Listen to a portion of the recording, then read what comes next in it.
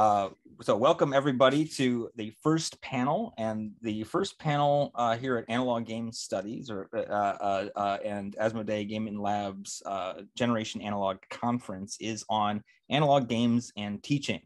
Um, I don't want to cut into the, the presenter's time, so um, I'm going to introduce all of our presenters all at once at the beginning. Um, and, and then um, each, each will then present in turn. So our first presenter today will be Catherine Croft, um, who uh, who holds a doctorate and co-founded Catil- uh, Games in 2015 to design uh, fun STEM-themed games for children's of, children of all ages.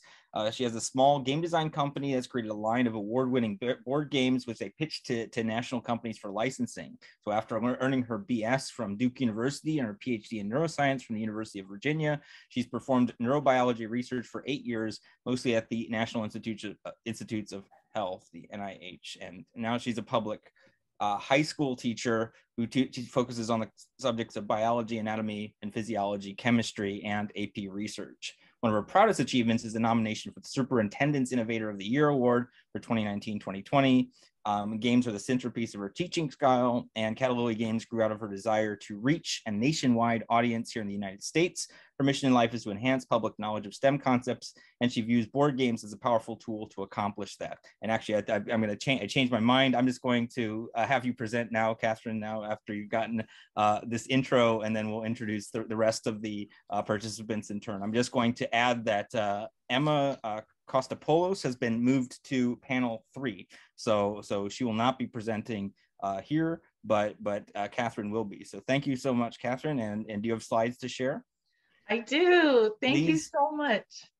Let's see. Uh, can I, it says host disabled screen sharing. Yep. Yep. So that would be, um, that would be Aaron. Aaron, um, do you have the screen sharing capabilities for, let's, let's, let's make sure. I, I think I also have the ability to do that. I mean, and again, for those who are participating, if you there we go. Yep, yep, there you are. You're now co-host. So Okay, can you see my screen? Yes, we can. Thank you. Great. Well, thank you for that lovely introduction. That was very nice. And I'm just absolutely thrilled to be here. So thank you so much for inviting me to speak on my experiences. Um, so I'm going to be talking about, um, I'm kind of the, at the interface of theory and practice where I'm actually now a teacher and I use these games in the classroom. So I'm going to be focusing on how to best do that and why to do that and like the best practices basically. Um, so I wear, let me close this here. I wear three hats basically, as was mentioned in the intro. So I am a neuroscientist by training. I did eight years of biomedical research. Um, but I realized um, I, well, I was always the one doing the STEM outreach and teaching the new people and going out to high schools. And that's really, even though I loved research, that was my passion. And I saw the huge gap between scientists and what they do every day um, and the public. And I think that's become especially clear in the past two years with COVID. There's just a, such a discrepancy, and our STEM education is very poor. Um, and so I took the plunge, became a teacher. I've been a public high school teacher for the past five years. It's my passion. I love it. It's the hardest job I've ever had in my life, but it's also the most rewarding even though I don't get paid much or respected much, but um, I love influencing children's lives. Um, and so out of that, when I started teaching, um, I realized I've always been a board game lover my whole life. And I realized that games are the most effective way of teaching. So I started incorporating them and designing new ones for my class. Um, and then it just basically took off and i co-founded my own stem game design company about six years ago. So that's who i am and where i'm coming from. And i wanted to let you know as a teacher what what happens when you use board games in the classroom and how is the best way to do that. So um, i'm going to cover three things like abstract thinking versus content knowledge with board games in the classroom um, also lesson integration, like how to make a lesson plan using a board game that's effective, and the types of games that you can use. And so someone mentioned earlier they had a question about what board games do you like to use in the classroom. So I'm going to go through tons of them. Um, so you'll see ones um, in my presentation. So first, just a note about abstract thinking versus content knowledge. So board games and games in general have long been known to be more engaging. Um, teachers know this, the general public knows this, right? But, and they also have been established by psychology to help enhance brain development and critical thinking, um, especially at the early ages, but this can happen throughout life because the brain is very plastic. Um, but what's less known is how to teach content knowledge with the games. And I think that's where a lot of resistance comes in from public school districts is that they need test scores. And I'm still evaluated by standardized test scores. So as teachers, we have very limited time. Um, there's never enough time to teach everything that we're supposed to teach. And so a lot of teachers um, make the mistake of trying to do like cramming in memorization. And that's not necessarily the best way of doing it. And so I think they're scared of using games as it might take away from their you know, cramming knowledge in for the test, unfortunately. So um, there's a lot of research coming out that shows that games can be used to teach content knowledge. And I've seen that in my own school. So I wanted to share that with you. Um, and also my own company, we've done a little bit of research on this. So we did a collaboration with Yale University, um, I think that was three years ago now, um, where this is actually a digital game, but they asked us to make one based on immunology for their immunology course. And they compared that to just a straight lecture. And so you can find that in simulation and gaming, um, the journal. And then also this picture is one of my students who on his own accord, not through me, he wanted to take some of my own board games and, and test them for his research project. So he took two of mine, um, a genetics game and a coding game and took them to elementary schools and gave them a pre-test and a post-test. And his this is pilot data, I want to stress, but he did find that they performed better on the test after playing the game. So I want to pursue that in the future and see what happens. Um, so, okay, how do you integrate a game into a lesson plan? You can't just throw a game at the, the class and expect them to learn what you want them to learn. So I have three key factors. So one is time. Like I mentioned, um, time is very precious to a teacher at any level. Um, and so uh, most schools that I know of are 45 minute blocks. I happen to be 90 minutes. So I have a, the luxury of that um, because we're on the semester system. But so you have, I can't spend three days on a game, right? Like I couldn't play Risk in my class and and like it would waste too much time for me. It's it's it's you know very limiting. Um, so I have to consider what can I fit into my one lesson, and also I have to frame it with pre and post activities. That's very important for getting across the the key concept that you want your students to know. So for instance, this is something that I would typically do for a lesson plan. So as I mentioned, scaffolded learning is key. Um, and so I have a pre-game activity which could be a variety of things. It could be like a poll of previous knowledge that they have. It could be some like definitions that we go over, some vocabulary. It could be me, you know, bringing up the new concepts, introducing them before, like it's a variety of things that you can do. And then you have them play the game. Um, I typically have 24 students to a class, sometimes a little bit more. And so I'll have six sets of games for, and I'll go through that in a bit about budget but um, they'll play the game and then we'll do a post game activity. And this can either be a formal assessment where I give them like a quiz, I've done that before, um, or it could just be a discussion of the concepts as a class. You can also do something called an exit ticket where the students have to write like answer one or two questions about like what did you learn today or something about the lesson before they leave the class and then you as a teacher can take that and see okay did my class really get what i was wanting them to get? And then it's not like a formal assessment it's more like a formative assessment so you can see how your lesson is going. Um, and so key factor number two is motivation. So it really depends what level you're teaching on which games you're going to use So you need to know as a teacher, and most teachers know this after the first week or so, like the personality and style of their class. Every class is different. Um, and you need to know what games will best connect with your students. So age is the most important factor, right? So um, Quantic Foundry has um, online these board game motivation profile surveys. Um, and I took one from my high schools in this instance. And so for my high schoolers, the most important thing to them is to win. And I, this is true. They're very competitive. Um, but the second thing is accessibility. It has to be easy to learn. And I witnessed this as well. If the rules are too complicated, um, they just don't even, they just give up. If they have to read more than like five minutes of rules, it's, it's not going to happen. Um, and so you've lost them. So it has to be really, really simple. And um, I'll try and just explain the rules really quickly if I can um, just depending my classes are kind of big sometimes, but that is very, very key. Um, if you're younger, because I've also taught different classes like even preschool and elementary and middle school. Um, I used to work at an after school science center. So younger kids don't really need to win all the time. They want to be silly and have fun. And that needs to be the most important thing that you do. It also depends on what level you're teaching. So I actually teach the general biology classes, not the honors. Um, and the types of games that honors classes could play are more complex than the ones that mine. My students are not gamers. like most of them like have no idea when I'm talking about board games. Like they don't, you know, they know Uno. So like it has to be simple and fun enough to engage people that are not motivated to learn.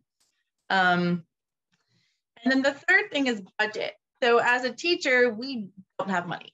Quite honestly, we don't have any money. And um, my science budget is so small, they're not going to spend it on games. They're going to spend it on like actual biology equipment that we need. So I go to a lot of yard sales, thrift stores. But what I've seen is a trend of these print and play versions that um, different board game companies are coming out with. And Asmodee is actually really great at this. Um, and so this is phenomenal for teachers because we can just print it out. We can print out six copies of it and distribute it to the class. So I would really encourage more board game designers and companies to have this option, even if it's like a really simple option, but it's so invaluable to teachers.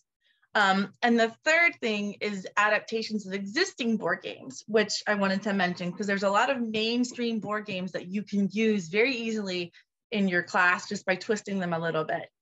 Um, so let me show you types of games. So these are ones like for general skills. Um, and I this is just a sampling of things that I could use or you could use in the class. My absolute favorite from here to use in my classes is Brain Spin, um, which is in the middle, the top. Um, I do this before we do experimental design. It's a creativity card game. It's very, very simple but you show them these images, these geometric images, and they write down as many things they can think of that that looks like to them, like, you know, like a barbell or, you know, hamburger or whatever it is. And then they have to compare all their answers and see which ones are unique. You only get points for ideas that are unique. And everybody has to agree that it actually looks like that thing. Um, and then you twist the card 90 degrees, and then you do the same thing again to show that like hey there's a new perspective on something. You can get new ideas by looking at something in a brand new way. So um i love i i've noticed like their creativity increases like tenfold.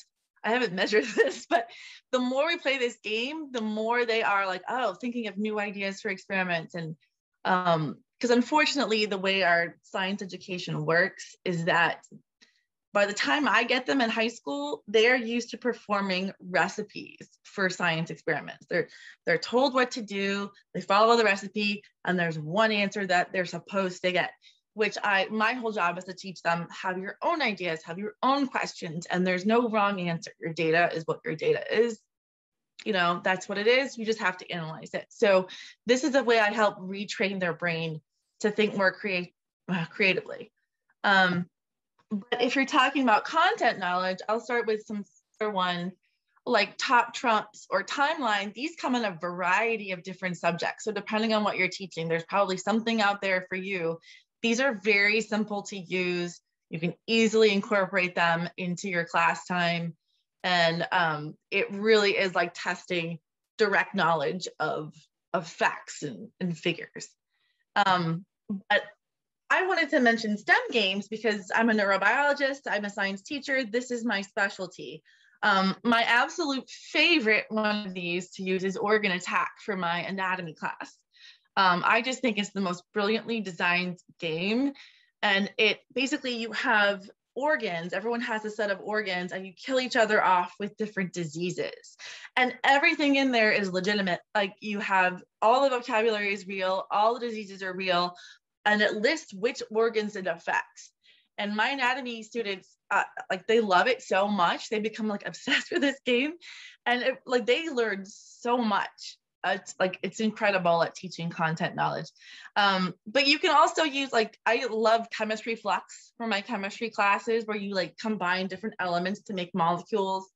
Um, and there's a variety of things here that don't necessarily directly teach you like photosynthesis is a beautiful strategy game um, it doesn't directly teach you facts and figures about photosynthesis right but you can bring up all of that in an engaging way with the game as the framework. Um, so this is some of the science one. Um, some technology ones, and I saw somebody mention Robo Rally in the chat. Um, there's more and more coding games coming out, which is really exciting. So uh, Robot Turtles is for very young kids, I should stress. Um, Codemaster, it's more like a puzzle game, but you program um, Think Fun has amazing coding games, and then like Potato Pirates is such a cute little game where these boats of potatoes like attack each other, um, and it's all about coding. And then I like put one of ours on there where you program tic tac toe. It's called Tacto. Um, so there's a variety of those. Engineering, there's not as many direct games for that, but of course there's Mousetrap, right? The Eternal Mousetrap. Um, Suspend is really great at bringing up ideas from Melissa and Doug, where you balance these coat hanger looking things. Um, engineering ants, um, it's that's a game where it really depends on the user input. It's all about creativity. You have these little obstacles and you're helping ants travel across like the bridge or whatever the obstacle is. But you have like a whole like bucket of stuff and you have to engineer these things. So it needs a lot of guidance or input from the user. And then I put another one of ours on there, which is like a materials testing game called Will It Bake? Um, the math, there's tons of math games. Um, math, obviously, like games depend on math, right? Intrinsically. So that one, there's already lots and lots and lots. I put some of my favorite ones on here. Think Fun has great ones. There's Prime Climb. Of course, there's, you know, Chutes and Ladders. Um, but I think I'm out of here. so to wrap up, so if if you want more resources, I'm happy to share. This is my my mission in life is to help educate the public about STEM concepts. Um, so on my website, I have teacher resources, but I also have articles like the research that we did that I mentioned, um, different essays that I've written for different magazines and journals and things. So please feel free to go there and, and download anything you want. Um, and if you want to contact me, this is Catherine Croft. Um, this is my email, my Facebook, my Twitter, and my website. And shameless, shameless plug, I've taken the scary plunge of making my first Kickstarter ever, and it's coming out September 14th for our game cycles. So um, that's basically it for me. I'm assuming we wait for questions till the very end of the panel.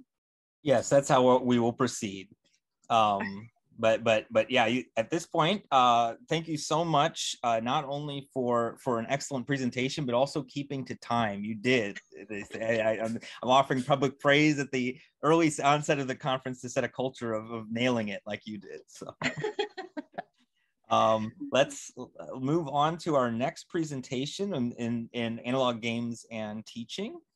Um, our next panelist is uh, Hayley Steele. Hayley, are you available?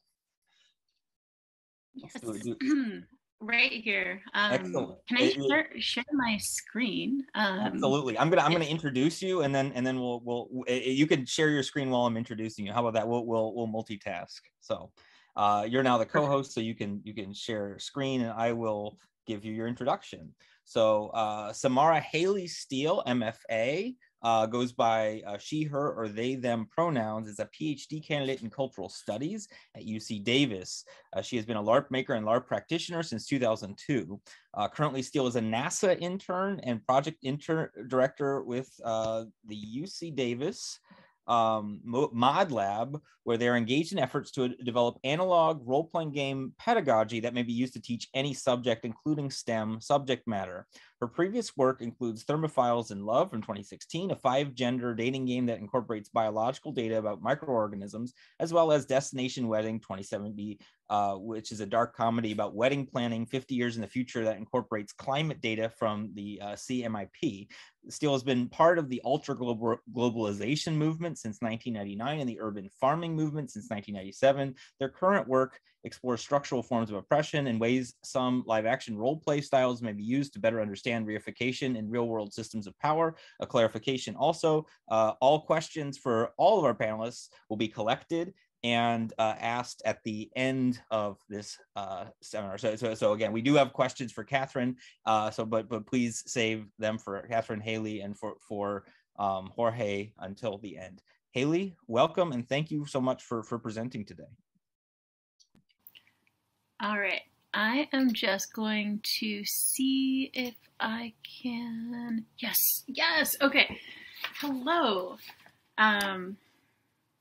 Okay gathering myself. Hopefully, I'll be able to cut this beginning out. Um,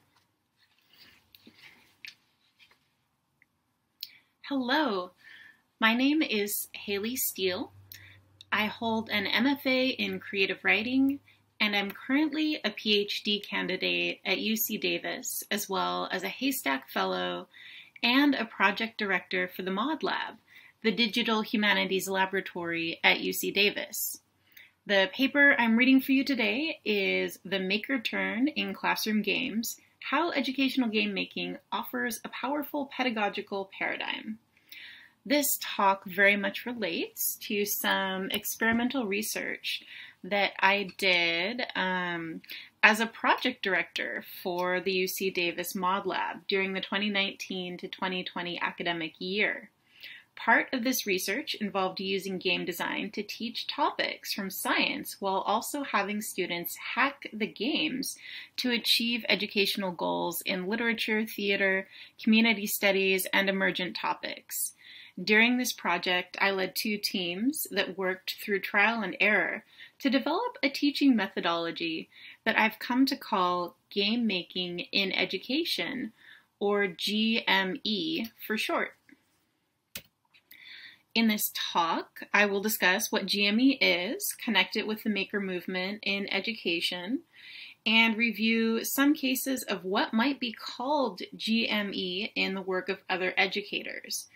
I should emphasize that I'm addressing this method as it applies in post secondary education or college level and graduate student classrooms.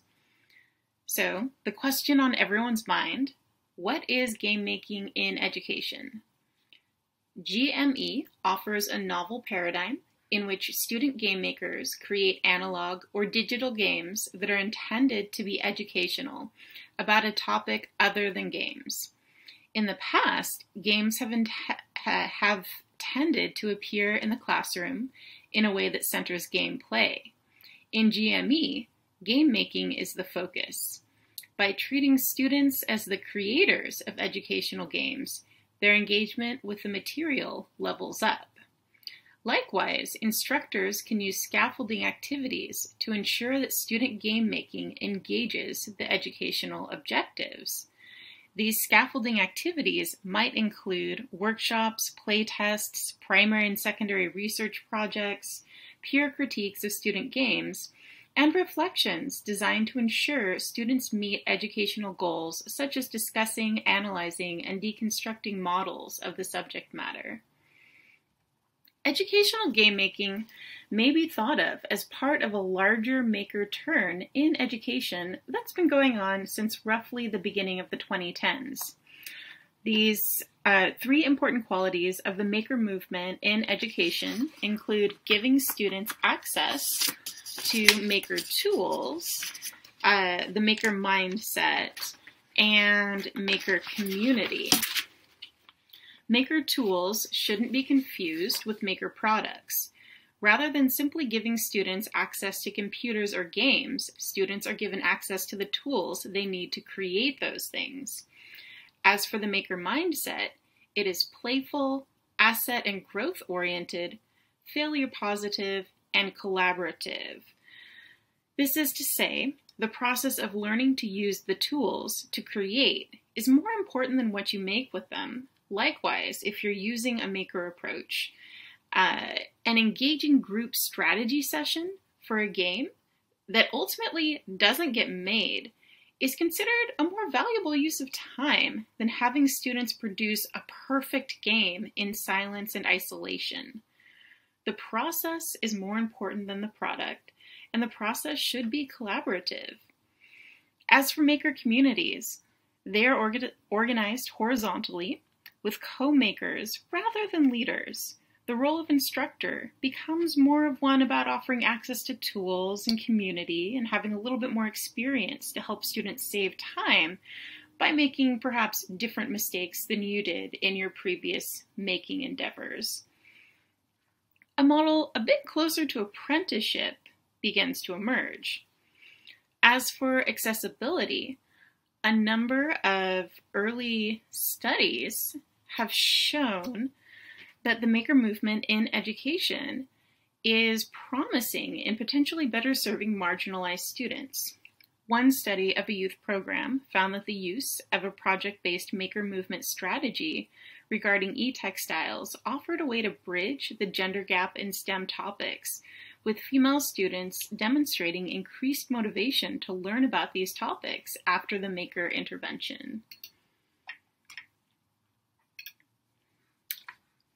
So, ultimately, beyond being an extension of the maker turn in education, game making in education uh, is also an application of other proven educational methods, including Dewey's project based learning and Kolb's experiential learning. A number of instructors in the humanities, STEM, and social sciences have demonstrated teaching methods that might be thought of as fitting within a GME framework. In one application, of the GME approach, Joseph Dumit and Whitney Larratt Smith co taught an undergraduate social science class in which students were tasked with designing a digital game about the behavior of fracking corporations. Game making and scaffolding activities were used to guide and build an appetite for social theory which students used to make sense of the things that they were learning about the fracking corporations while they researched their sometimes counterintuitive behavior. Dumit emerged that uh, students were doing graduate level work as undergraduates as they developed unique social sciences theories to make sense of the data that they were modeling for their game. He concluded that game design offers a powerful pedagogical paradigm for teaching theoretical social sciences research to undergraduate students. In the image here, you can see the start screen for FRAC, the, the digital game and board game that students designed as part of that class. And I'm going to move this so you can see the citation really quick if you want to read what uh, Joe Dumit wrote about that experience. All right. And another example of what might be called GME. Um, in this example, Evan Torner devised an application for game making as part of his German literature class at the University of Cincinnati, wherein students played and critiqued student made freeform LARPs about German literature, including Goethe's The Sorrows of Young Werther.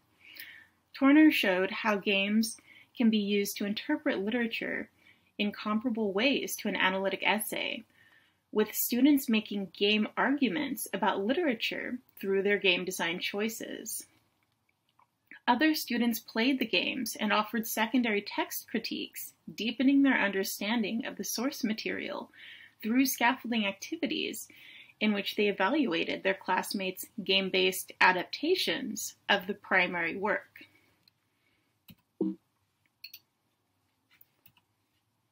In a third example of GME in action, Dargan Frierson at the University of Washington uses game making to organize a yearly upper division atmospheric science class in which students design games based upon predictive climate data from the CMIP 6. Many of these games are released at earthgames.org as part of a student design studio affiliated with the university. Through game making activities, students develop unique interpretations and dramatizations of scientific data and findings, translating concepts from their field into playable projects they can share with their friends, while also demonstrating their ability to model dynamic earth science systems. These three efforts show how game making in education is quite versatile and may be used to teach virtually any topic. Additional research is needed to further assess the, uh, the efficacy of student game making as a method for teaching topics other than games. Observations of these classrooms suggest that the use of game making may positively influence student interest, strengthen analyses of the material, and help students become more effective communicators of source material objectives of these three classrooms, or observations of these three classrooms, also suggest that the use of student game making may be an effective way to teach complex systems thinking. Uh, what is known as theory in the social sciences and humanities, or modeling in STEM. Likewise, the use of what might be considered GME to teach systemic thinking has appeared in classrooms led by Diana Leonard, uh, LaShawn A.Z., and Jonaya Kemper. Dr. Leonard's work at Lewis and Clark College includes guiding students in independent studies and group study projects in designing student games that demonstrate their understanding of principles from psychology, especially pertaining to identity and asymmetrical power relations. Dr. AZ at UC Davis has worked with students, including high school students in underserved communities, to create ARGs and ARG material that reflects their experiences of police brutality. Additionally, Jonaya Kemper is a LARP maker and critical race theorist who has engaged college students in LARP design projects relating to her theory practice of emancipatory bleed. These three educators' work demonstrates how student game design projects can help learners make sense of systems of power in their daily lives. It is also worth bringing attention to the reality that as I was compiling the research for this paper, there was far less self documentation and peer reviewed coverage of these three pedagogical projects by women of, co- of color even though they have been just as groundbreaking, uh, just as groundbreaking as the three other projects, which were led by white males. I attribute this gap in documentation to a larger, well documented problem in academia in which academics of color receive less support for novel work and also experience increased unacknowledged uh, service obligations compared to their white counterparts.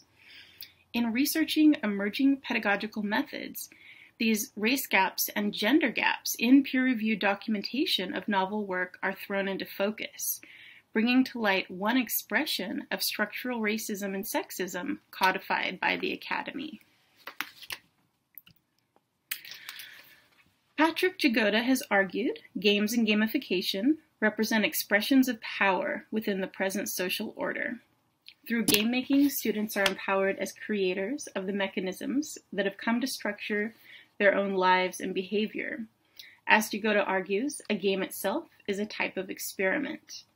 Likewise, Alenda Y. Chang has argued that games may facilitate a stronger relationship to the ecological world, and rather than separating us from nature, games can bring us closer to it.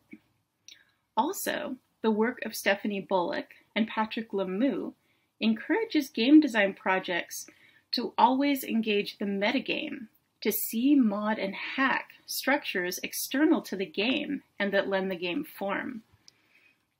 I argue that through game making, which I approach as both the creation of games and the hacking of the platforms and social structures surrounding games, students can work to prefiguratively negotiate relations between the human ecology, um, the human economy, and the ecology.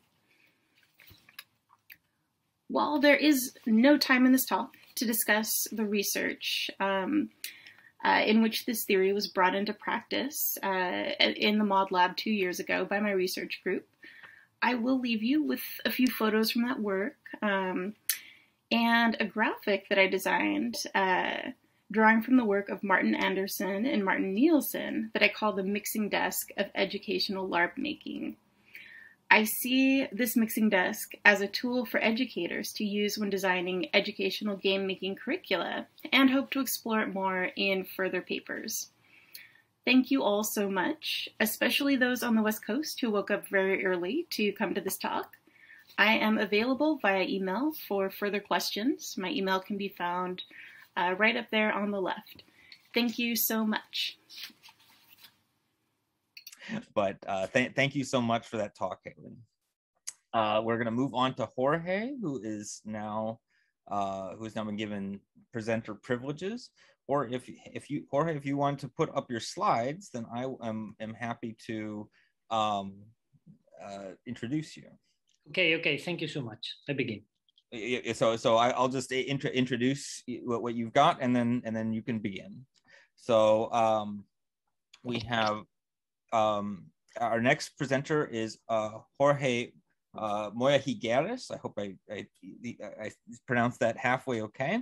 Um, who is a principal investigator in uh, NeuroPGA uh, and is a lecturer at the University of Lleida and, and the uh, principal research of the NeuroPGA research team. Um, and at this point, I'm handing over um, uh, this the, the, the mic to you, Jorge. Okay, okay. Thank you. Thank you so much. Um, I'm Jorge Moya, uh, and I thank you all the Generation Analog um, committee for selecting our research. is an experimental research uh, that have been uh, led by Nuria Vita Barrull and, and, me. And as a corresponding author, I'm going to, to present it. Uh, the study is titled Modern Board and Card Games and Gamification for the Reduction of Behavioral Executive Dysfunctions in Children at Risk of Social Exclusion. So um, nowadays, we, we know that uh, risk of poverty or social exclusion uh, is very uh, important in children populations. Uh, it has several um, consequences uh, it increases likelihood of, of, mental health problems and also it has been linked to uh, impair the uh, intellectual development. Haft and Hoeft showed that uh, the main cognitive uh, uh, processes that can be uh, decreased with uh, this condition, being uh, children or at risk of social exclusion, are executive functions. So executive functions are a set of, of processes, cognitive processes, that allow us just to think which goal we want in life and uh, to activate, plan, and end all the behaviors in order to achieve this uh, goal, this objective.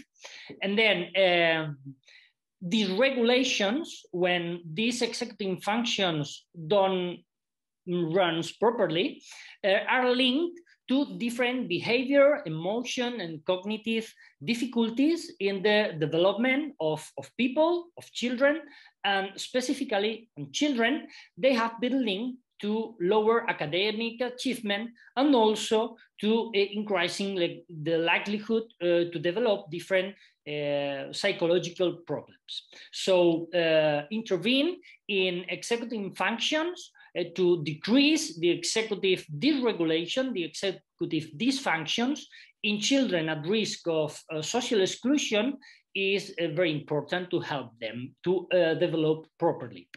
Uh, past research have found that uh, cognitive inter interventions based on modern board games can are effective to improve uh, cognitive uh, ex the executive functions and just to decrease the executive dysfunctioning.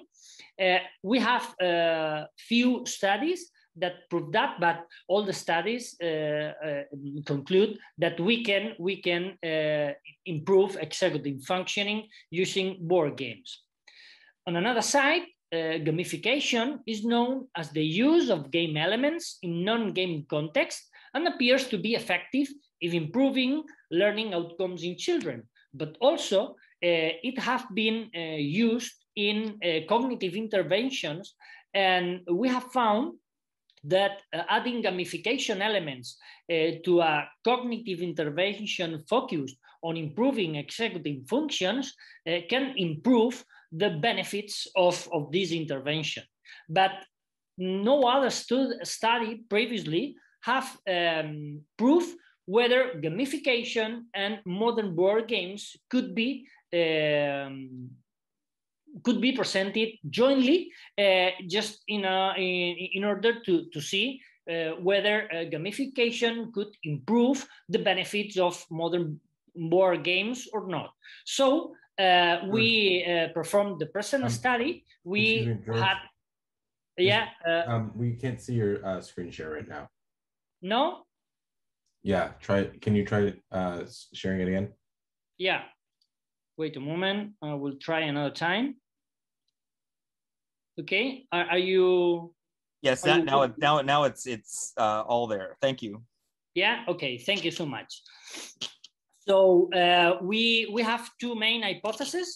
Uh, we thought that uh, both groups, uh, all the people, all the children that played uh, with the board games uh, decrease will decrease significantly the executive dysfunctions but we split it the the children's in two groups. In one group they uh, we included gamification elements and in the other group where children only played board games but with without uh, gamification elements so uh, here you have uh, two different pictures of La Chanca and Los Almendros they are uh, the most impoverished neighborhoods of Almeria in Spain. The present research was uh, uh, interprofessional research because we work with AFIM 21, that is the main non-profit um, association that is working there in Almeria with uh, children at risk of social exclusion. Uh, this is important because the present study was a natural experiment. A natural experiment because uh, AFIM 21 and four different schools of these neighborhoods uh, agreed on how they would implement a modern board and card games intervention. Uh, and they decided that two groups uh, we're going to uh, implement uh, the board and card game intervention with gamification elements, and the other two schools were going to implement the same program but without uh, gamification elements. And then AFIM 21 uh, told us as a research team if we could help them just to prove or not uh, whether gamification elements were important to potentiate the effects of board games. So is when when we uh, just uh, took part of, of the study. Then the whole sample consisted on 283 children at risk of social exclusion. We assessed uh, the, the executive dysfunctions with the BRIEF2, a test that helped us yeah, just to uh, diagnose also and, and, and assess uh, whether children that are assessed with this tool present behavioral dysfunctions, emotion dysfunctions, and cognitive dysfunctions linked with the dysfunctioning of the, the executing functions you have in the screen. Uh, also, we uh, prepared a teacher adherence uh, test because the, the main people that intervened with, with children applying the board games were teachers, were not us as a research team. So it's an ecological uh, research because we're the, the main teachers that uh, were uh, who were uh, making children play. But it was very important for us just to know if the um, teachers adhered to the intervention as it was planned in, in the first moment. So uh, we, we assess that, we assess uh, this outcome also. Then um, we finally, because different reasons, for example, some children uh, change uh, to another school, and then uh, we analyzed, uh, statistically analyzed the, the research in a sample of 176 uh, students in the gamified group and 107 children in the non-gamified group. Um, first of all, uh, mm, after other steps, we perform a neuroeducation formation for teachers in order to explain them how the works run, how they uh, should apply the games, and in the gamified group, how uh, the gamification should be performing. Then, uh, after another steps, we began with the intervention. All, remember that all the groups, the two groups, uh, played to the games that you have on the screen. All the groups, the two groups. Then we also used uh, guidance sheets. I apologize because they, they are in Spanish, but they, mainly these sheets helped children on focusing on uh, other uh, aspects of, of, the, of the gaming experience. When you play, uh, you are focused on, on, on the game, on applying properly the rules, but it is very important, for example, to know the name of the author, that the children uh, explain you briefly the main rules of the, of the, of the game, and a lot uh, other kind of things that we think that are very important for the gaming experience. And this was applied also to both groups. The main difference between the two groups is that the gamification group, we used a rewarding system. They, uh, children in this group could uh, win different points that could be uh, changed uh, uh, with uh, just to, to, to have an insignia and the insignias were, um, were better when they uh, accumulated more points. And also, we use a fantastic narrative in where uh, an alien out of the space came here to planet Earth uh, in order to steal all the board games in, in, in planet Earth, and uh, children has to uh, play a lot just to win this this alien and uh, let all the all the um, all the children in, in the world uh, play with with board games.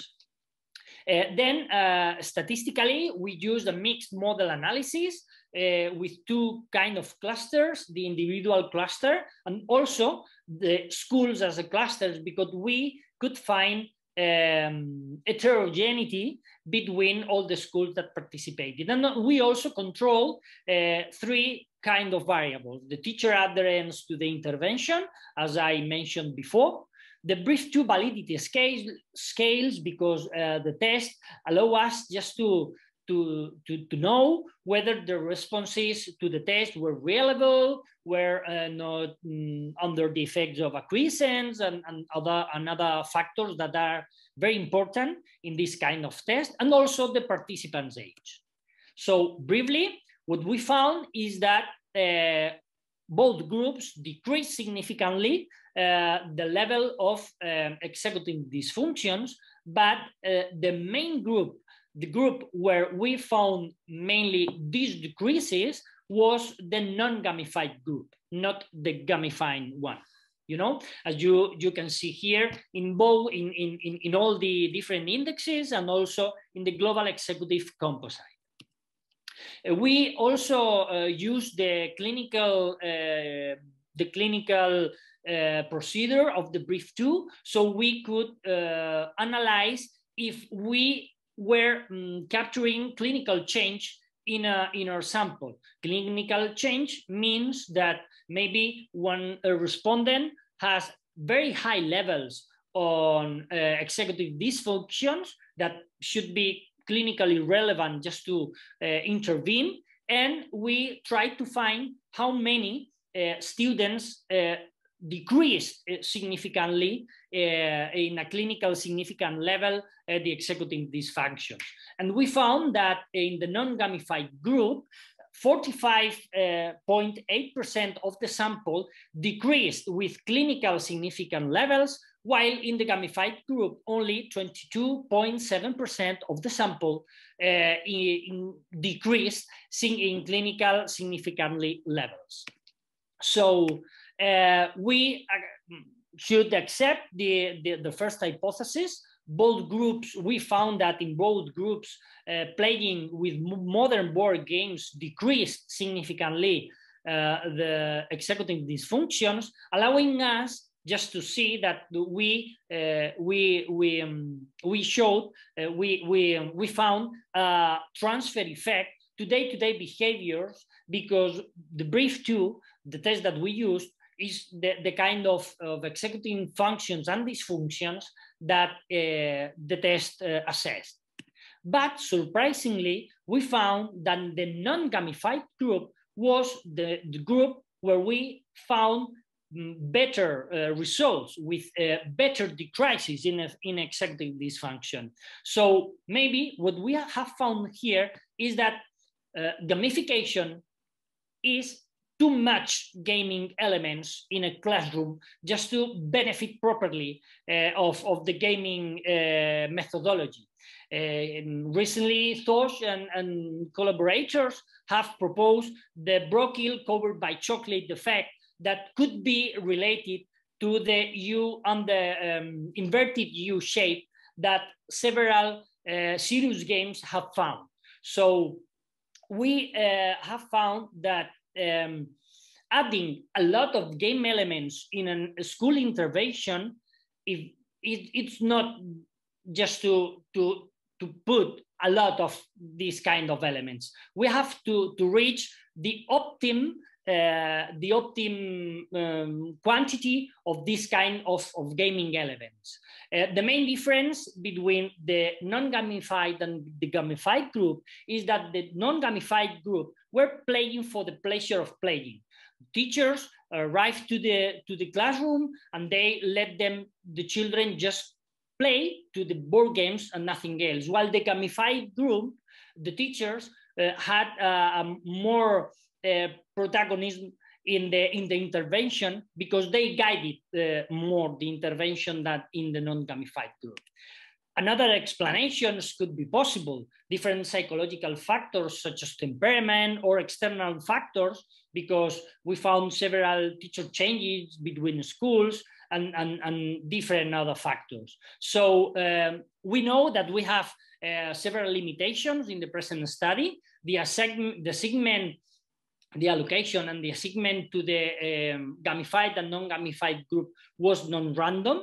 Uh, and also uh, the test that we used is a behavioral one and, and we need to, to use perform, uh, performance test in order to better assess the executive functions. And also it should be better to have a passive control group just to uh, control all the possible explanations. Uh, we uh, are happy to, to announce and to share with you that uh, we have been awarded uh, with an award uh, by the Gaming Lab just to improve this research and is a research that we are uh, now performing.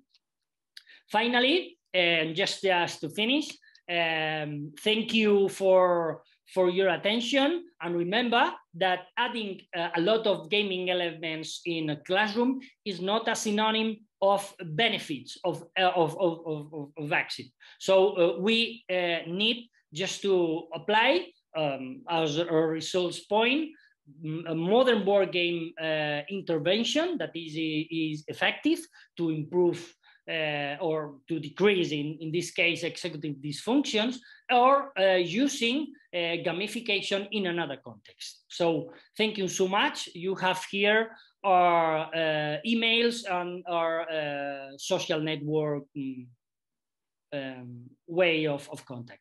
Thank you so much. Thank you, Jorge, and also thank you again for for keeping the time. Everyone has kept the time, which actually leaves us with lots of time for discussion at about 30 minutes or so, if we'd like to take that time. Um, we we do have uh, uh, some questions for uh, various panelists, and so I'm going to direct our attention to the Q and A. Uh, one question actually was asked by Michelle King, um, who I don't know if is still in the audience, but but um, is an important one, and this was one for Catherine uh, Croft, which is how might we interrogate how we think about uh, time and learning, and so that's that's a, a sort of direct uh, question before we we hit the rest of the Q and A. So, Catherine, do you want do you want to field that? Yeah, that really needs to be explored. Um, if nothing else, to show teachers and principals that uh, how best to use their time, and that games can be used effectively in the right timing and framework. So, um, basically, if you're crunched for time, you're less likely to use games because you think they're wasting your time. Um, but in fact, if you just cram facts in, right, it's short term retention of knowledge. If you play a game, it's more long term.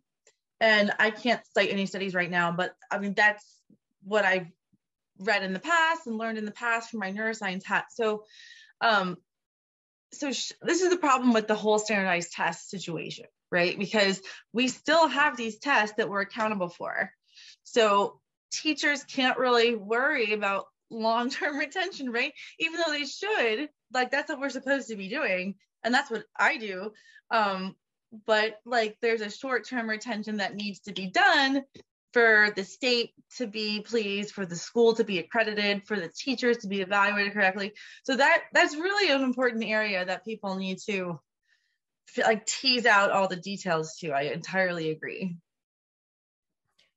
Thank you. And and uh, another question: um, Can you elaborate a bit on a need to win as an important criteria for uh, students? Uh, um, does it does it only imply winning against other students or game participants, or is this desire can be fill, fulfilled by cooperative victory against the game system itself? Excellent question. So my absolute favorite type of game is cooperative. I love them. Um, I use pandemic sometimes in my class pandemic Iberia as well is really good for teaching like diseases like that can't be cured or couldn't be cured. Um, what I have found is that my high school students are more engaged if it's a singular win. If it's them against other people, like there's lots of drama, there's lots of talking back and forth. Um, and it depends on the class, right? And it depends on the level. And because um, I noticed that my anatomy class is kind of more advanced students. And so they do enjoy the cooperative. Um, in pandemic, like they're the biomedical research team and it's really exciting and it's like the drama builds and they don't mind it. But most of my classes, they want to be the sole winner. And I haven't come across too many problems with like people losing then you know flipping the board like i haven't really come across that thank goodness um but yeah, there's a, a, a singular need to win most of the time, which is not true for little kids. Little kids, like they like they like the teamwork, they like the cooperative. It's just that my older teenagers are like that. Thank you. Uh, I have my own question for Hayley. Um, if you're there, Hayley, um, I uh, am interested. So again, Hayley, are you available to answer questions? Um, I think so. I have the camera off. I'm yeah, hoping you, that will help. You with... are you are your audio is crystal clear. That makes that that's great. Um, what I'd like to know is um, what what sort of dialogue can we envision if we have a STEM based game that then responds to another STEM based game that responds to another STEM based game, right? So so how do we uh, make that le- legible to people this this larger academic dialogue so normally in academic uh, discourse, we have citations, which kind of show the, the big chain of of um, discourse. How do we show that um, you know, in in different games, especially if we are say taking a 10 year period and different games are responding to each other over time? That's that's a really interesting question, Evan. And I kind of want to throw that into the context of a game making classroom. You know, so it's like if students um, were given the game Pandemic as an example of a STEM-based game, you know, and they, they play it, and then they have a, a unit on um, uh, microbiology, you know, or, or on, on vaccinations, um, or sort of a social sci- science studies of, of vaccination hesitancy or something.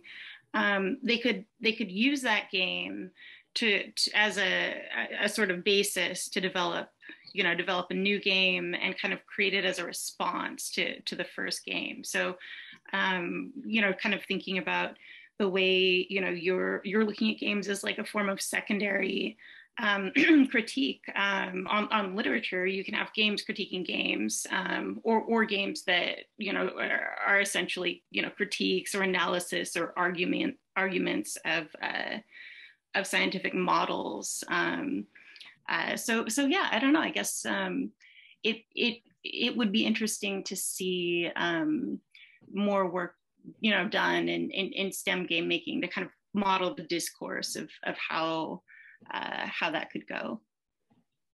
Yeah, I asked that question because uh, a, a, typical ludography, right, that's usually talking about the game design elements, but what, when you're using it as a secondary form critique, your presentation highlighted the fact that wait, you know, you're also you also have a content issue, right? You're responding to the arguments that it's advanced than not just the game design. So really, really interesting uh, food for thought, especially when translating sort of what I what I wrote into to a STEM context because it's got a, it's got some different uh, uh, connotations. Uh, Jack Murray asks uh, about um, what what your thoughts are on larger scale analog games such as John Hunter's World Peace game. I'll put that in the chat. Um, if you don't know what it is, then that, that that's fine. That's but uh, but you can also, if you know about big games or these larger strategic uh, games, I'm thinking of like World Without Oil, um, and a, a, couple of other games that, that are largely communicative and hypothetical among the participants.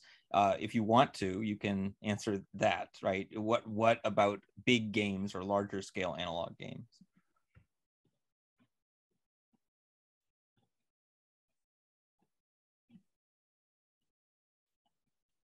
And again you, you know it, that doesn't have to be answered but that it is a it, it is something in the room again because i don't know if you know of it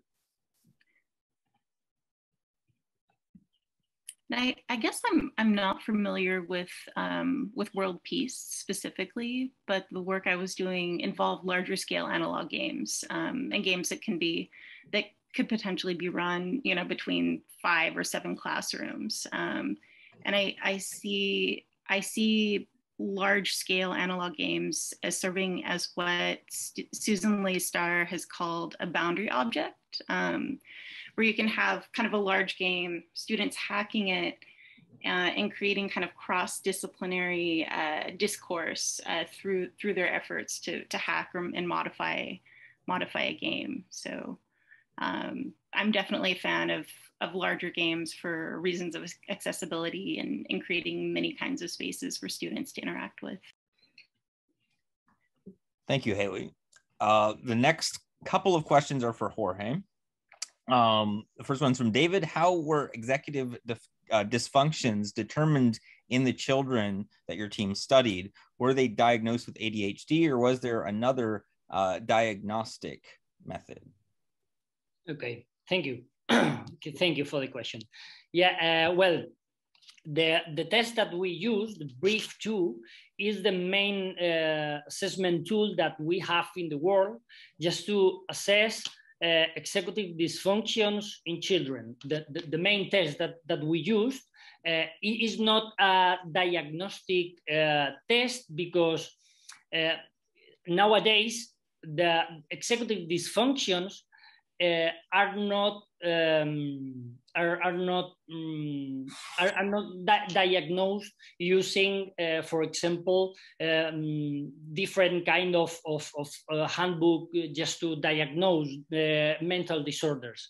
I don't know if you if you know the DS, DSM, diagnostic and statistical manual, just that all psychologists and psychiatrists uh, used to, to, to assess and diagnose ADHD or autism or, or, or other uh, mental problems. So executive dysfunctions have not reached the, the, the entity to be included to be included in, in this kind of, of, of manual. So we, we, we have no way of, of, of uh, uh, diagnose executive dysfunctions in the same way in the same way than ADHD could be diagnosed. So what we have is this uh, is this test, the brief two, that allow us to assess uh, the executive dysfunctioning of, of each children and also as is well uh, and, and, and validated instrument, we have we can compare the raw score of each children with the uh, mean and uh, statistical and, and and um, sorry, the standard deviation of, of, the, of the main study where the, the test uh, was, uh, was validated. And then we, we, can, we can see if the children uh, reach a clinical uh, level that, that could be used to intervene uh, by psychiatrists and psychologists just it, it, it, it was the main reason that we used this this test because it's the only way we have uh, nowadays just to to know in a clinical uh, sense if a, if a child uh, has uh, executive dysfunctions or not Thank you. I, as a follow up, uh, Abby Loebenberg asks, um, Jorge, when you talk about social exclusion in your presentation, can you explain what that means in Spain? Um, you know, does it mean expulsion from school, suspension? Does it mean not having friends? Uh, you you no. also talk about students with clinically significant ED as well as autism ADHD. So I figured this was a, a companion question. Yeah, yeah, yeah, okay, okay. Thank you, thank you so much for letting me explain this uh, a bit more. Um, social exclusion, it it's nothing about if if a child um, um, has problems with their peers or not. Is uh, is about the uh, family socioeconomic situation. Is linked to poverty in, in Spain. Just to be considered at risk of social exclusion, uh, you have to live in a family with low resources, where, for example, both uh, um, both um, father and, uh, and the mother uh, have not been working during the last six months. They have uh, several difficulties to find a new job. they have low resources in their in their in their homes and these kind of things you know so they, it, it's a concept more linked to poverty than with uh, social difficulties of, of, of, children. Excellent. And now, now we're going to get into um, a discussion that's happening not only here, but also on the Discord um, about intrinsic and extrinsic motivation. And I also am inviting uh, Catherine and Hayley to comment on this. Um, keynoter Scott Nicholson notes that past gamification research shows if you add rewards to something that is fun, players will be less likely to want to return that fun activity without the reward. Have you looked at the long-term impact of that on your research? Um, do students who are rewarded return to the board game on their own? And the general question is, you know, what is the role of extrinsic versus intrinsic motivation uh, in in your particular, um, you know, game learning models? And I'll add to that that Scott is concerned about the harm that might have been caused, uh, specifically with with with um, you know the intrinsic motivation being being kind of uh, you know lessened uh, by, to, for the students who are playing the board games, um, especially because people in the conference here are the ones designing these games for them. Um, I'll go first on that. So I have, I entirely agree with that. And so when we play games in my classroom, I make sure it's fun that's what I I rarely actually like quiz them at the end or give them a prize for winning or like I I pick something that's fun and I just want them to play for the sake of play, which I think one of the other um, panelists mentioned. Like that is the most important thing. Um, and so I only like quiz them if like if there's a class that's um very unmotivated or difficult because I do have a lot of the students who just don't want to be in school and I'm just frankly happy they're showing up to school. um, in some cases, I'll do that just to make sure that they actually play the game. Um, but yeah, they learn much more um, if they're just having fun. And then they'll ask to play again. Like if there's free time and someday they'll be like, oh, can we play that again? And like that is the most reassuring thing to me. It's very important. Excellent. Hayley or Jorge? Yeah, Hayley, Hayley, and and, and then. Okay, yeah, yeah. Then you'll respond to yeah. that. Okay, Hayley. Let me think. Um, so, in I guess the type of LARP that I was having students design is more the crunchy LARP. Um, actually, more of the kind that has um, extrinsic motivators. You know, sort of win scenarios where you're having players fight a boss. But the reason I did this was because it's easier to design games like that. Um, so when mindset is the students are the game makers and not the game players, you can sort of create this like maker space um, for students that are, uh, you know, creating games that have different objectives. You know, the, the objective for their their work being entertain your friends while also demonstrating to me and the other members of the the graduate student uh, and professorial community evaluating your work that you've educated or created an, a piece of uh, educational material about about the STEM topic. You know, so we would have these sort of performative um, metagaming moments where if you wanted to create a new kind of crunchy rule for the, the game rule book, we have this RPG system called Savad. Um, you have to uh, sort of take part in this rules defense where you have a, a committee of you know other of graduate students and, and other uh, other students sort of evaluate your rule and grill you on the science. And at the end of the day you know you're you're not you're not you're not being graded about whether you know you you had ideas correct or or not but it opens up a maker session in which as you're defending your starts co-working on the rule together and says wait are you sure you want it that way? If, if that makes sense. So there are these intrinsic situations you know we create where they're motivated to sort of engage performatively as a game maker, as a rule smith, um, as a LARP maker, and all that. But the games they're making might include sort of extrinsic motivators. I kind of like to move between those spaces while having students actually read about intrinsic and extrinsic motivation. So I have them read a bit of Sarah Lynne Bowman's work as they're they're working on that. Perfect. Jorge? Yeah, I totally agree with with uh, my partners in the panel, and also as Catherine have said, uh, we thought that fun is the is the key point.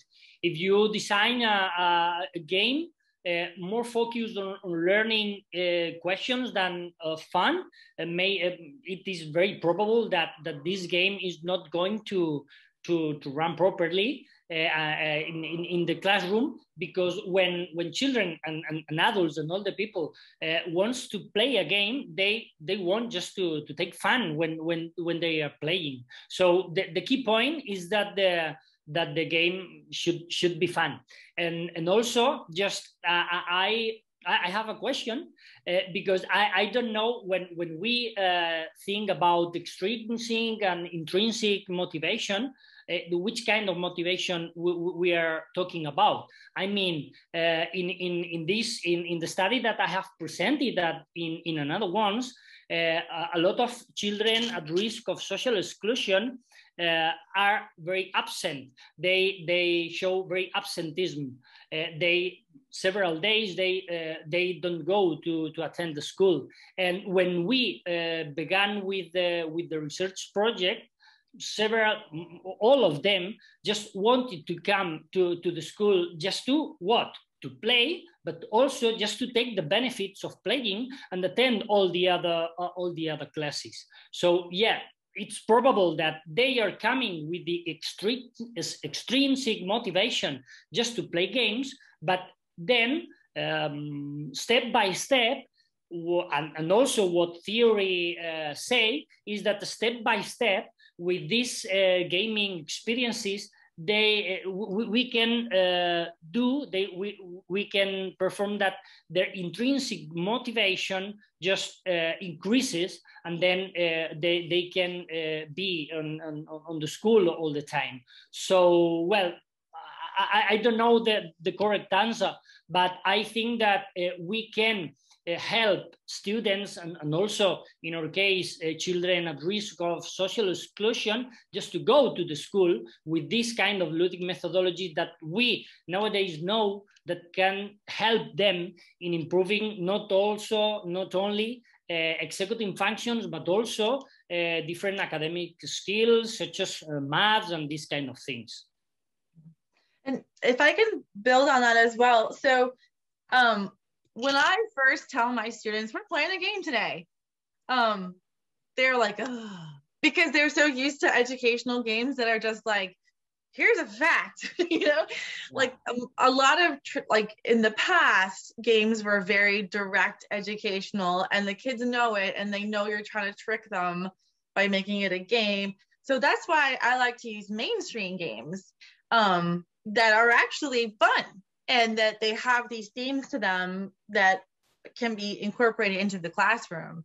Um, and that's why I think um, I would love for more companies to include like little, you know, guide for teachers or something in these games because they're so fun and kids love playing them, but we need to get them more in the classroom as like actual fun games. You know, I, I kind of want to piggyback on that a, a little bit, Catherine, because some of the research I looked at um, before starting my project, there's a researcher at the University of Washington, um, Teresa Horstman, who wrote her dissertation about the, the, the, exact problem you're talking about with educational games, about how you'll get these educational games that uh, aren't quite good games and aren't quite good educational tools. like they kind of miss both marks. And mm-hmm. sort of the the trick or hypothesis with making educational games is so students are creating something that you know probably isn't going to hit prime time uh, isn't going to get mass distribution, but through the process of creating the educational games, they're they're actually learning the material. And I guess Teresa Horstman noticed this when she was making educational games. She was like, "Oh, wow, I'm learning a whole lot about this random material." And it's like, you know, maybe there's there's a method there to that where educational games have their use, but it might not be through through gameplay. But I find it really interesting that you're you're utilizing mainstream games, which kind of matches this whole tangent of, of research I was doing in the beginning. Yeah, absolutely. That's great. And and I, I would say um, from my cynical Marxist perspective that that a lot of edu- edutainment games actually come from sort of a business model developed in the 80s by Don Rawitsch and, and MECC, which created a, a, popular computer game for the United States uh, educational market called Oregon Trail. Maybe you've heard of it, maybe you've played it but but that business model itself had, became much more important in in um, designing games than actually the content of the game itself like what how what is this game teaching you and and is this game fun and all these kind of questions that we're now asking. So a, a lot of what we consider to be educational play comes from a specific place where people are not actually interested in either the education or the play beyond a, a, a, an instrumental model of marketing. That's just again me very cynically responding to to that. But but that I'm I'm glad now that that we're having very serious conversations about this. I'm gonna uh, put we, we had a few questions related to Jorge's talk. Um, one is, uh, you know, how did children win gamification points by winning the games or by playing slash interacting. And also um, do you have your hypothesis to why students weren't as motivated through gamification? If you feel like you've already answered this you can go with that. But this suggests uh, is this related to creativity and performance? Okay, so uh, we had uh, a table just to to see uh, which was the, the, the way to win points and to change the, them uh, for the insignias. There were a, a, lot of different ways to, to, to win the points, just winning in, in when, when they uh, play to the games, but also uh, using properly the, the, the sheets that I explained, just remembering, for example, the, the author's name, just um, treating properly the, the other players when they were playing. So a, a lot of different things or, or behaviors that uh, could let them just to, to win this, this kind of, of, of points, you know? And then about uh, the, the um, what or, how we can explain the, the controversial result, why the gamification group uh, decreased less uh, the, um, the executive dysfunctions, we have several, several uh, hypotheses there. Uh, for example, um, several children uh, we did not register this this kind of, of responses. We have uh, them because they they told us uh, privately, but several children told us that when when in the gamified group they were stressed because they have to think about too many questions, too many behaviors. If I win, I will uh, win. If I win in a game, I will win two points. Then I should uh, exchange these points to, to an insignia and these kind of things, you know. So they, they told us that that they sometimes were stressed because we, have to to play not for the pleasure of, of playing as, as, as we told before but uh, just to to reach uh, another kind of goals that only entertaining. And and the non-gamified group were more focused on the game experience just playing only because they wanted the, to play and because the teacher uh, prompted them just just only only to play you know?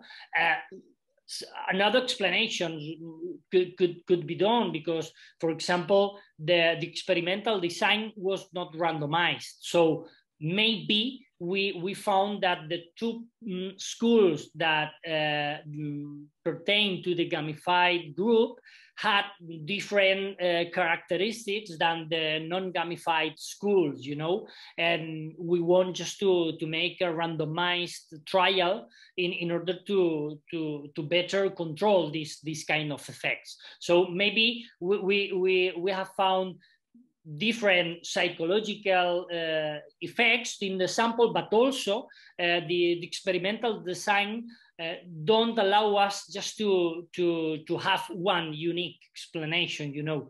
And I don't remember now if you have uh, made me a third question or I don't know if I missed uh, some questions.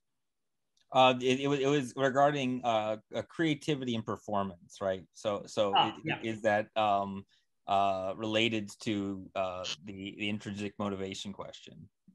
Yeah, yeah, yeah. Well, we, we did not assess creativity or or any uh, cognitive uh, function associated to, to creativity, and so I have no no no answer uh, regarding our, our research. But uh, um, I suspect that probably, uh, as in another kind of games, to creative minds, to creative children, using creative uh, games should would be motivate them a lot. Uh, but non-creative uh, children maybe uh, see them uh, not not very useful you know but i think that that uh, and is a, a, a, research question very interesting that we want to to to answer in in a future properly just to know if we can improve creativity in in the classroom using board games. I, I think that that it, it could be done but we, we have to to design a, a good uh, study uh, an experimental study just to prove it. Wonderful. And now we have actually what uh, considering to be our final question for this round, which is from Leonid. Um, this is a question for all the participants, particularly for Hayley, and that is, uh, you know, can a gaming illiteracy in terms of analog games become a problem for playing or designing games as part of education? Um, I currently cannot ta- make some of my students understand how a tabletop role playing game is supposed to work. Uh, the problem is not that they cannot understand the rules, they cannot grasp the logic of these mm-hmm. games, freedom of actions, agency, approach to storytelling. And I've sometimes encountered the, so, so in, in other words, play culture, right? Um, and, and I've sometimes encountered the same problem while trying to make people even familiar with video games participate in LARPs and tabletop games. You just fundamentally cannot understand the logic of those types of games. Have you encountered this problem? How do you overcome it? And again, this is this is for everybody, but Hayley, you're on the spot first. Yeah, that's that's a really good question. Um, in the curriculum I developed, uh, you know, while we created games in a number of media and genres, the the main uh, game we worked on was a campaign LARP. And the nice thing about campaign LARPs is they're episodic, so you can ease students into it as players. You know, I don't recommend only game making, you want to play the game first just to ensure that everyone um, has had, you know, experience with that game. And my, my approach, um, you know, my, my approach is to treat the students as game makers from day one, you know, to frame it that way, to say that we're making game making assignments, um, to show them rule books, you know, to let them know the way I'm writing my rules isn't the only way to do it. Here are two other rule books that are somewhat similar. And here's another LARP of a complete, here's a Nordic LARP, you know, we, we did a, a free form LARP about three weeks in, you know, because my, my goal is to make sure that they have a, a level of, of media literacy. Um, so they're not, you know, running out of the class thinking they've experienced all LARPs or thinking that the LARP that I've written is the first or the only one um, of a certain type.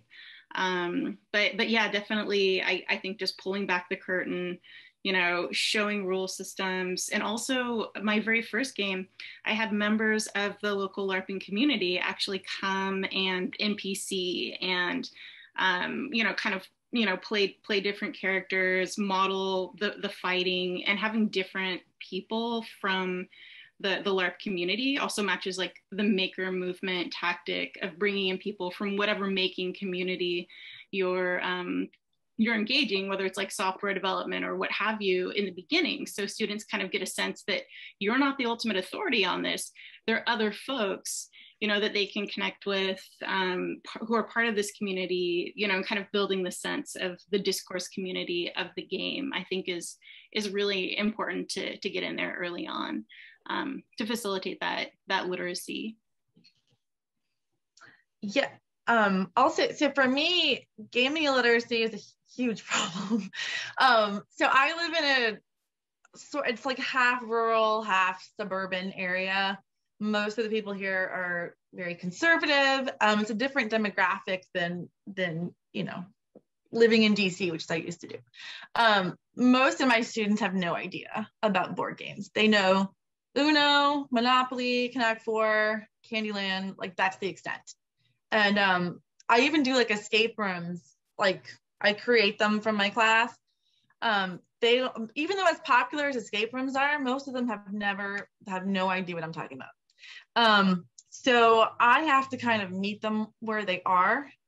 And I'll start really simple. Instead of fighting it, like we'll play really simple games or I'll take an Uno and adapt an Uno and and then the more we do it, because I I try and do a game, I don't want to say every week, at least every two weeks. It just depends. Um, I try once a week, but it just depends on what, what's going on. But um, I'll build and build and build on that. And by the end of the semester, I will have built people that now love board games, which is also my secret mission, right? Um, but I think we as gamers and largely academics forget the general public is not familiar with any of the things that we have. So I just like that's that's my obstacle in my my work.